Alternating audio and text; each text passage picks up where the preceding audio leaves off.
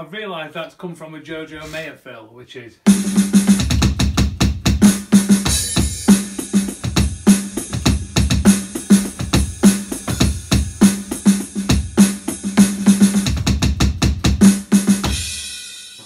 Cheers, Jojo.